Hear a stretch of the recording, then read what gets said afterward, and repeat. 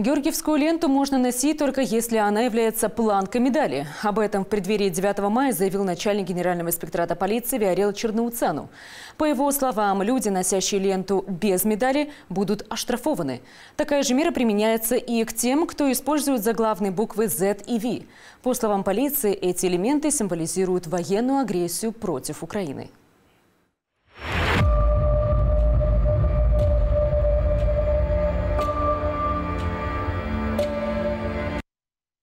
Este o constatare clasă, clară în recomandarea Comisiei de la.